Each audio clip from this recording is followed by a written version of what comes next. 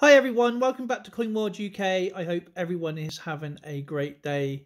Today I'd like to talk to you about the 1957 Denver minted one cent Lincoln cent wheat penny, whichever terminology you like to use. These are still fantastic coins to collect, and uh, you can see this is a circulated condition coin, and the whole coin is des is designed by Victor David Brenner.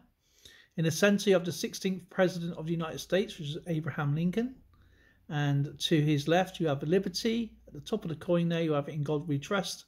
And then you have the date with the D mark, which is 1957 Denver. I'm going to flip the coin over to show the reverse side. And you have the motto above there, which is uh, E pluribus unum, which means out of many one.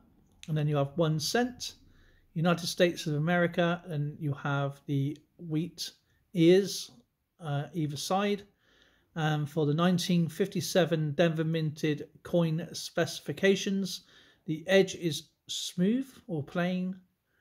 The weight of the coin is only 3.11 grams. The diameter is 19 millimeters. The composition is copper. It's minted in Denver, United States and the mintage figures at the time of release is really high mintage is 1 billion 51 million 342,000 coins were produced. Regardless regardless of that this is a fantastic coin to collect anyway.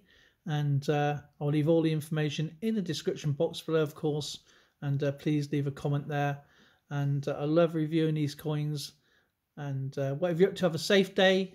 And I'll see you guys in the next video